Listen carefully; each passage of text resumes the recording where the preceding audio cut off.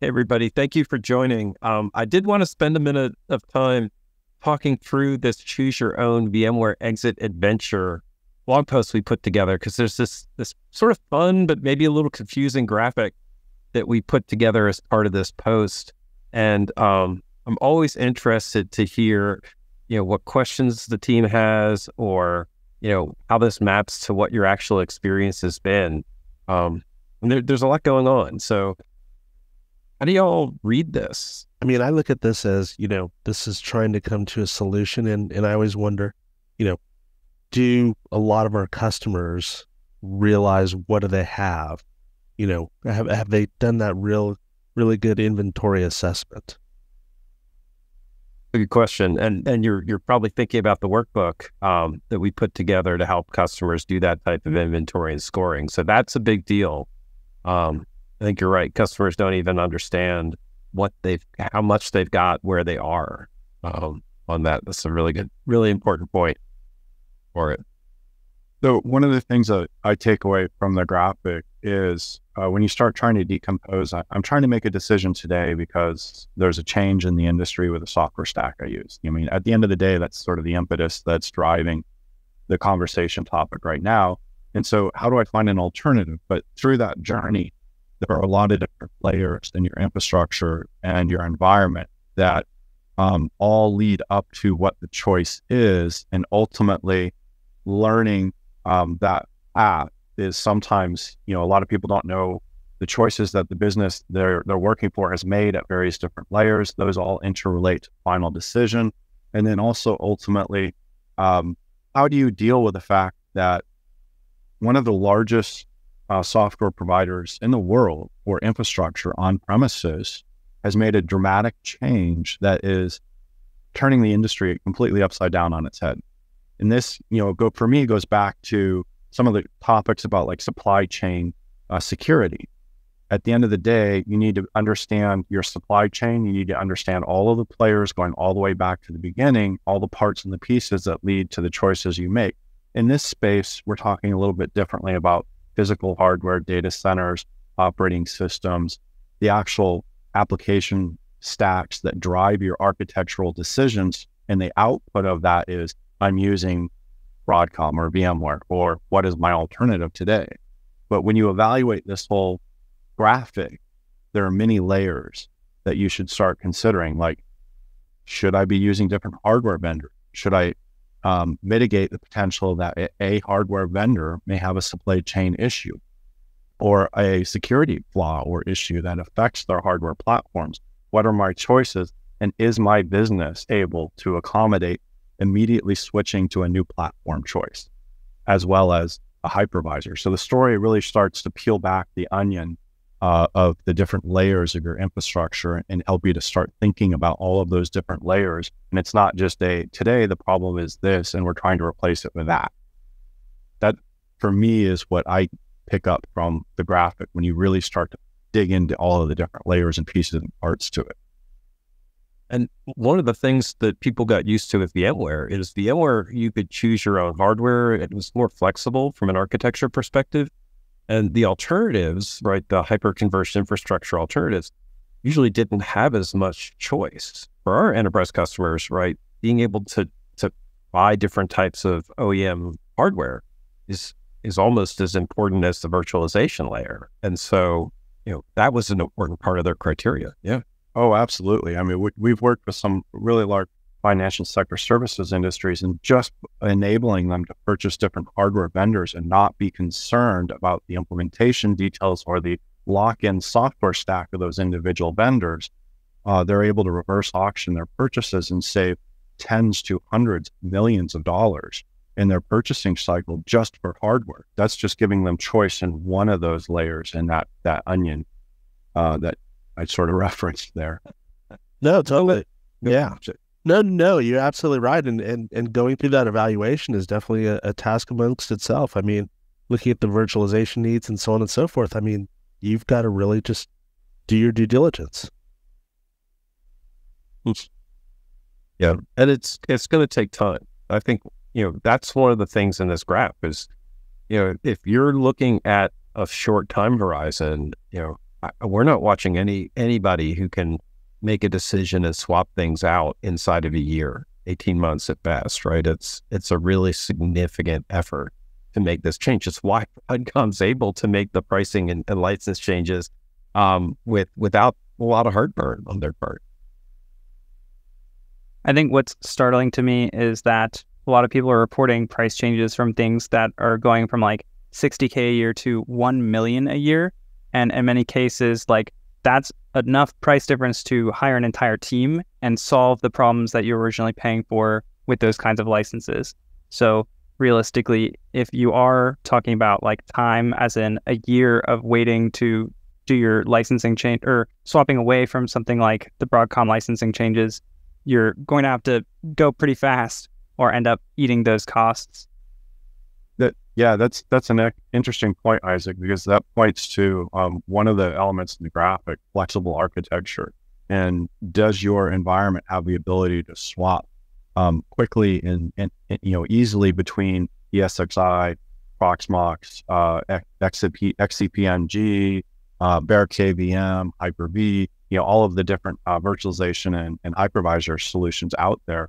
Having that flexibility in your architecture to make those decisions quickly and in ultimately embrace multi-vendor solution. In this case, your hypervisor virtualization platform. Yeah, very good point.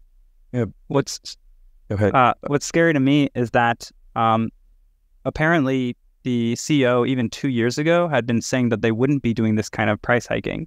So we're seeing now that they're walking that back. They're going through and they're doing these almost outrageous increases in price. Do you think that other companies are going to follow suit and treat the software that previously is already, I think, a little expensive for a lot of open source things, but going to like this extreme. Uh, certainly, certainly possible. Um, you know, commercial companies have the ability to, you know, take a, a locked-in ecosystem and and dictate structural changes to their licensing or pricing models. Um, and that's a lot of, of what we deal with here at RackN is having having the ability to allow somebody to, to make changes at all of these different layers. And you know whether it's the hardware platform specifically whether it's you know a dell server lenovo you know hpe cisco whatever happens to be that you, you're using but embracing new platforms new virtualization new os or, or different linux distributions. I mean the shakeup in red hat centos has made a significant change in Linux mm-hmm. virtual or Linux operating system adoption and directions. And so that drove a lot of companies to uh, either move to RHEL to embrace it, which was the reason behind that move, in my opinion, or, or move to other alternative solutions like, you know, Ubuntu or Debian or Fedora, you know, the newer emerging replacements for CentOS like Alma and Rocky. Um, but again, flexible architecture, you've got to be able to deploy those different operating systems and solution.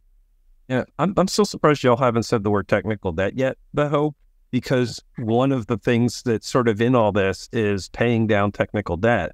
And the idea of switching to some open solutions that don't have big corporate backing and don't have license models requires teams to have a degree of expertise to maintain those systems that, you know, they're already behind in a lot of operational choices. Um, and so you know, I, have I've seen conversations like, oh, just switch to raw KVM or something like that, but not a lot of thought in how much your team actually needs to know to then maintain a system like that or support architectures that don't have all of the bells and whistles that VMware or a Nutanix or a Scale would have built in.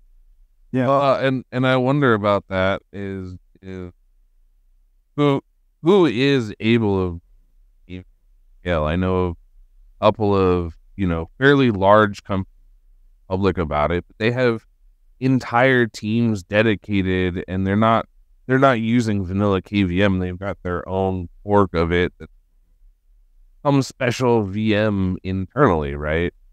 So who who's really going to use KVM from coming from a mm-hmm. a VMware platform where it's more or less batteries and hypervisor? Yeah, and that's that's a good question about um, you know going back in time and, and asking yourself why did VMware become so successful? And you know, at the end of the day, the the backbone of their success was built on ESXi and things just sort of working out of the box. Um, over time, it became very complex as they added new features, new capabilities, new use cases, etc. Um, but at the end of the day, um, you're buying um, peace of mind by buying a VMware license, or that used to be the story, right? So it used to be going back into the 90s with Cisco's, you know, network operating systems and switching. You you never got fired if you bought Cisco was the story. Didn't matter the price, but you always felt comfortable buying Cisco. This is a very similar story where, for the most part, people always felt comfortable buying VMware, and now all of a sudden they're turned upside down or on their ear, and they're not comfortable based on uh, the changes that the acquisition company has made to their ecosystem. They they had the advantage of VMware having vMotion and networking capabilities that you know even if most things didn't need it were always there and so it made it an easy default choice even if it was a little bit more expensive i'm surprised y'all haven't y'all haven't uh, named out the ephemeral vms the big vocabulary word on this list because you know the degree to which people have um, the ability to treat virtual machines as disposable and temporary really is one of the big differentiators between whether you can get out of VMware or not. Yeah, and similarly, there's the whole construct of um, virtualization on premises, and if you're making a shift um, and everything is ephemeral, you go public cloud, right? Or if you're, you know, governance, compliance requirements, security, and uh, similar requirements require you maintain on premises. What's your private cloud virtualization stack that you're going to drive towards? And but at the end of the day, there's always physical infrastructure underpinning it, whether you're paying somebody a premium to maintain that in public cloud uh, or you're maintaining and managing it yourself.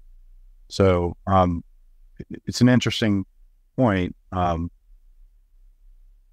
that's more application use case workload issue. At, and at the end of the day, it doesn't really matter then what the hypervisor is driving it as long as you have good controls for that. And you can use the right hypervisor with the right mix of, um, you know, vendor support. Um, that's a big issue. So, and that's where a lot of the pain points with people's decision process right now in this specific context of, you know, Broadcom and ESXi to what? So, um, is, you know, price and support and your um, comfort or discomfort with how much of a company is behind the solutions you choose in the but as we see even the largest vendors out there it doesn't matter. You still don't have a full security blanket with those.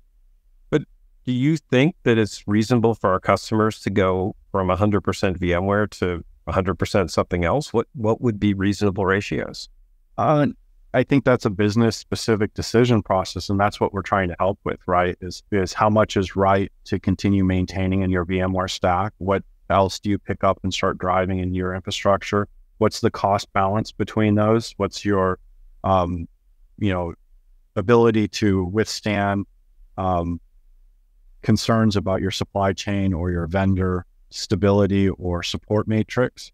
Some workloads it doesn't matter as much if they're not as highly available, not as you know well supported a stack. And so being able to do, you know make those decisions and then also be able to technologically and architecturally accommodate running different platforms is an important problem on its own. Most companies can't do that unless they're running a really good infrastructure and automation and orchestration. Well, well, and, and like digital, isn't that where isn't that where the promise of Kubernetes comes in? Is that it's supposed to be able to and run any workload and you know. And how well has that worked out? I mean, everybody's trying to, to get to the bare metal Kubernetes, and that's a huge problem. And but then Kubernetes actually can't scale. Um, it's getting better, but it, it can't scale and effectively take advantage of it. You know, some of the modern um, server platforms out there. There's just way more computing capacity in there that's being wasted, which means how do you deal with that? You create boundaries within virtualization to serve up different containerization, you know, objects to serve out of. And so, um, yeah, but workload and reality sort of have to. Well, I, I think Kubernetes is a real part of, of you know, all the enterprises we talk to, it's a very real part of their strategy. Um, the the challenge, I think you're right, is it's a good abstraction, but that doesn't mean that it's easy to run it or maintain it, especially when you're looking at replacing VMware, which is mostly on premises. So, you know, the operational side of that equation, I think is something you're going to have to work through. It, um, and that might mean using ephemeral VMs, and you might be able to use open source, but then you have to maintain open source. The the whole sort of the mission for RackN is to make a lot of those those layers of the infrastructure much more standardized so that you can mix and match uh, depending on the workload and maybe say, oh, I'm running Kubernetes. I don't need VMware for Kubernetes. I could reduce my my VMware footprint considerably if I'm not running, you know, Kubernetes, you know, a, a, containerized workload on VMware that doesn't need, you know, the type of persistence, storage, and you know, networking and all those other capabilities.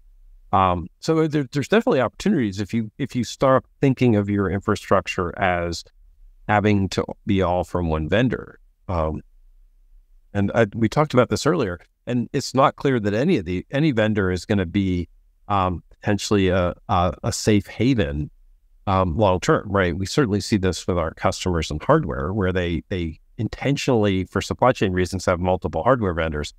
I can see a world where they're doing the same thing on on virtualization vendors and and actually looking at at right sizing their virtualization vendors just to make sure that they they avoid Broadcom V2.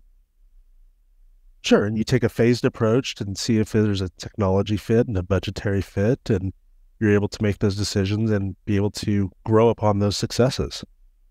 Yeah. I, I am curious why large scale is on the what if what if I am large scale and I need ephemeral VMs?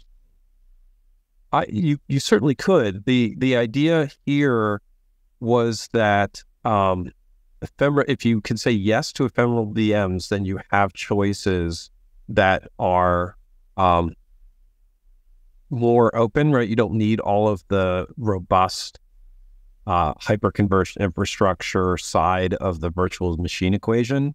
And so, so it's not that large scale is you you know uh, prerequisite for ephemeral. It means that if you said yeah, if you said you don't have ephemeral VMs, meaning you need the hyperconverged storage as part of the solution, then you get into a larger scale with go Nutanix. If you only need smaller scale, and small scale can get pretty big, but scale computing is is more um, focused on that side of the market, while Nutanix is more mid and large. And so, so that you you just have you're reading it from the if you're if you're not able to do ephemeral, then scale um, is a factor for you. Gotcha. Okay. One of the yeah, it's a funny thing. You if you read the if you read it backwards, it can look like things are in a weird order because they are in a weird order. Um, what do you all think about the ability, the, this abstraction, this idea that VMware, right? We've seen this all the time. Uh, our customers have dependencies on VMware that they're not even aware of. What I've sometimes called keystoning VMware, meaning you assume it's everywhere. You can shortcut like abstraction layers, and you you, you just use VMware tools directly. You don't think about having to have a platform automation layer above it. Um, and and that in itself could make you less dependent on VMware. But I, I, see a lot of our customers are wired in directly into VMware, and, and that that keeps them from swapping as much as anything else. Do you all see that in our customer base? Well, let's be honest. If if you're using Terraform, you know Terra, Terraform claims to support multi cloud or whatever. Mm-hmm. If you've written a bunch of Terraform for VMware, it's not easy to pick up and go go use that for KVM or go use that in AWS. Basically, got to go, you know, re-engineer all of that work. So that's true. Those are those customers are a step ahead of the ones who've been using vRealize automation or VRO or some of the VMware specific tools um, where they they don't even have an abstraction layer that can they can they can repoint. That actually leads into a very good question. If a lot of people built these systems for VMware and they previously had hiring rotations where they lost a lot of domain specific knowledge, the new teams are going to have to start learning things anyway. Do you think now would be a good time to pick up new tooling like Digital Rebar to enable that multi-vendor or hybrid based environment? This is a once in a generation opportunity, IT generation. Yes, Isaac, that's a very good point. This is before you just spend a whole bunch of time chasing down into something new, um, fixing some of those problems uh, and getting the right skill sets is a is is the time, right? And this is part, I think, what you're hitting on is one of the things I wanted to highlight in this graph is you could spend a lot of time chasing down, building up open source expertise and learning Proxmox or is uh, Xen or KubeVirt or something like that. Um, and that might be a good use of your time. But at the same time, you might find that uh, building in other skills and going up stack where you're looking at infrastructure platform engineering and paying down technical debt and creating uh, abstraction layers above could be a better investment for you. Um, especially because it can be very hard. You know, do you do you have to figure out where you can find talent and where you have talent? The talent part of this equation is a big one. Is it really a once in a lifetime event though? I mean, it seems like Red Hat changed their licensing all of a sudden. Broadcom changed their license all of a sudden a huge push into Kubernetes. I mean, I remember when, you know, people were saying that, oh, the move to cloud is a once in a lifetime. And and now everybody's trying to move away or large droves. right. Right. Well, it's like boiling a frog. Everyone gets used to their amazing tooling that they're getting for what the companies are valuing as a lot more than they're actually getting paid for. So how is digital rebar potentially not going to do the same thing? Is that something we should be concerned about? It, is a factor of how these tools approach their ecosystem and, and what they build. Um, you know, it is the reason we got into the VMware dilemma is because VMware was providing a lot of value and the consistency at the operational level was really valuable. Um, and that's I think the balance with this is that there are you know companies do need to make choices about having some type of consistent abstraction layer in their infrastructure. Um, the the the deeper the vertical gets, um, like VMware has gotten, then potentially the more risky they become. They be, it becomes harder to sort of swap out the layers from that perspective. Um, but it's a reasonable question that that customers of ours ask us. Right? They want to know what how we're going to help protect their infrastructure. Um, and and those are you know part of the balance in, in all these equations.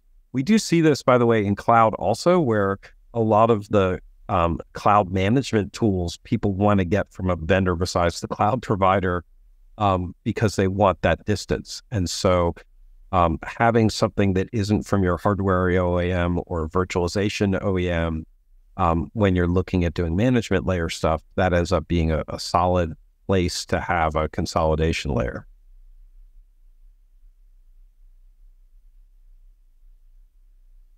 That's really good. We're almost out of time for this. Um, you know, I, I really appreciate the insights insights here. Um, other, you know, sort of a, any wrap up comments or or closing thoughts for people on this. I think the the primary thing is like you were mentioning, maybe it's not like once in a lifetime, but it's definitely sort of a, a, a decade sort of transitional inflection point for people and stepping back. Um, it, I see a lot of uh, customers kind of making a, a knee jerk reaction of what do we replace Broadcom or VMware with, and and they're trying to do a one to one mapping without going through this exercise of understanding their infrastructure, understanding the different layers that they they need to think about where other problems like this can surface and how do you mitigate those challenges and how do you en- embrace the ability to make choices at each of those layers so you can insulate yourself from industry changes and shifts like this. Hmm. I think that's an important insight. It is. Cool. Well, I would encourage anybody listening to this, please take your time, read the blog post. Um, come back with your own opinions, your own thoughts. Check out the materials that we've been putting together as part of this Broadcom churn. Um, and I do mean once in an IT generation, I think not a human generation. Um, you know, RackN is really committed to this multi-vendor uh, vision and, and autonomy for our customers. and self-management. And so, you know, we're really thoughtful and experienced in this. And so we have a lot of experience there that we're, we're happy to share here, but we also have a lot to bring uh, to one-on-one. So I, I hope if you're listening to this and it's helpful, call us up, ask for help, read the materials that we're putting together. Our goal is to make you better able to manage your IT infrastructure. Um, and we have tools and platforms that help do that, but fundamentally, that you know that's our mission is to help our, our customers be better operators. So thank you all very much. I really appreciate your insights on this and, and sharing your thoughts. And uh, I'm looking forward to maybe doing this again on some future material. Thanks.